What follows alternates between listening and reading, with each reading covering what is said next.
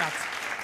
Allora, eh, un periodo molto importante nella nostra vita, secondo me, è l'infanzia, perché quello che ti dicono da bambino in qualche modo ti segna, no? ti resta. Se voi, per esempio, per strada vedete un bambino che butta una carta dal finestrino, probabilmente non è tanto colpa del bambino, no? quanto dei genitori che non hanno saputo educarlo bene.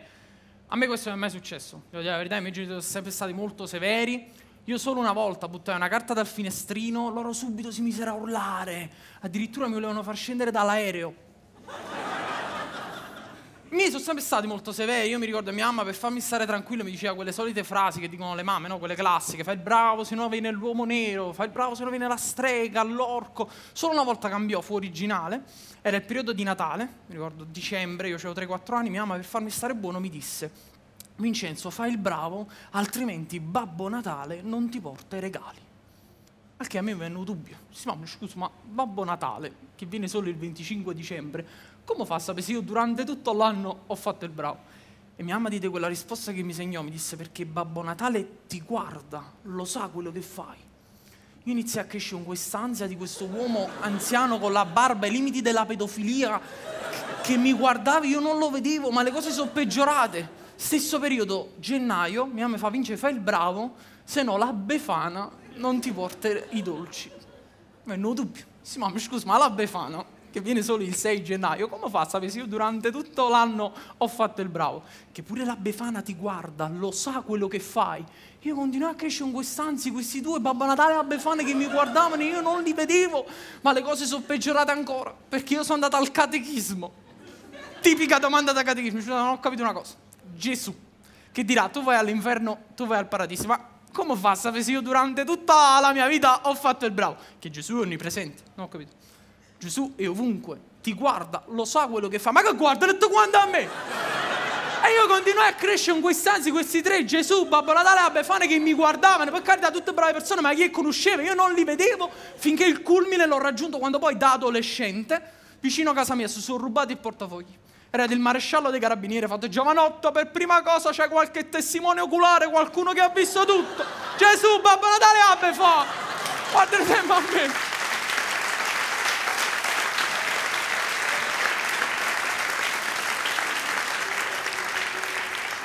Quello che ti dicono ti segna, io come dicevo sono, sono nato e cresciuto in una famiglia cattolica e quindi come dicevo prima sono andato al catechismo e la religione è un'altra cosa che quando sei piccolo non ti spiegano bene, è un tema molto importante. Secondo me si tratta con superficialità, perché per esempio già le cose più semplici, no? le preghiere.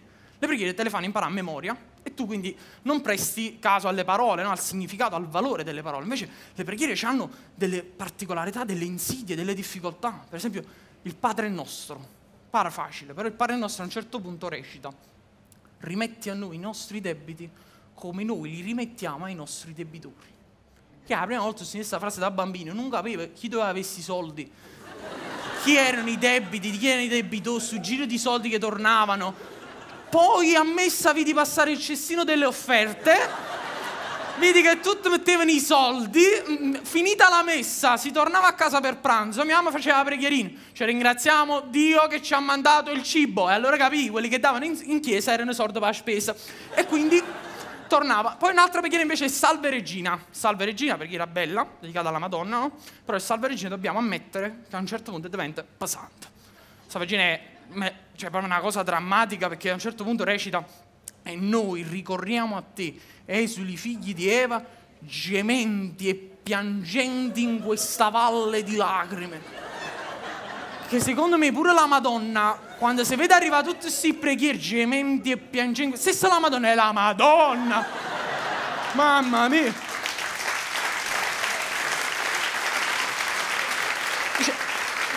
La Madonna dice, ma, ma, questi figli miei stanno sempre in questa maniera, questa è la Madonna di Pompei, come potete notare.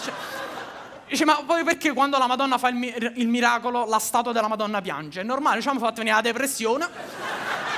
Faceva un'altra cosa, rideva per citare un grande. Poi un'altra preghiera invece è l'atto di dolore. Atto di dolore, preghiera bella, del pentimento.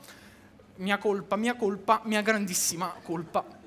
Però a me l'hanno insegnata a dieci anni. Cioè, dieci anni, mia colpa, mia colpa, mia grandissima... Quale colpa? Che colpa può mai avere un bambino di dieci anni? Io a dieci anni l'unico comandamento che avevo trasgredito era non fare falsa testimonianza. Quando mia mamma tornava a casa dice chi si è mangiato tutte le merendine? Non lo so mamma, non ci visto niente. Che poi l'atto di dolore è quella preghiera che ti fanno recitare durante la confessione, no? La confessione è un'altra cosa, è la mia religione che io sinceramente non ho capito. Che, cioè io devo dire peccati che io ho commesso verso Dio, a te sacerdote, così che tu sacerdote, dopo che li sentiti me, da me, li dici a Dio e Dio tramite te perdona me. E glielo dico io direttamente. Dove abita? Dici Dio, io ovunque. Meglio.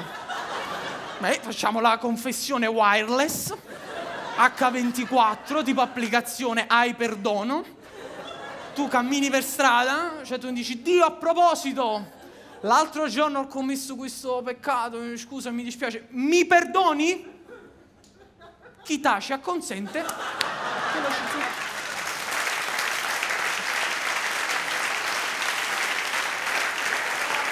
Grazie. Grazie. Troppo, troppo, troppo poco, vai.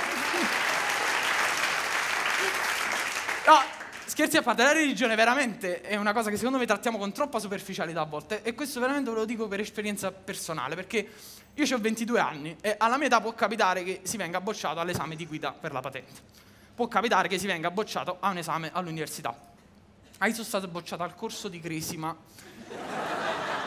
Lo dico subito, non è colpa mia, non è colpa mia perché quando mi hanno chiesto da chi era formata la Santissima Trinità, io non ho resistito.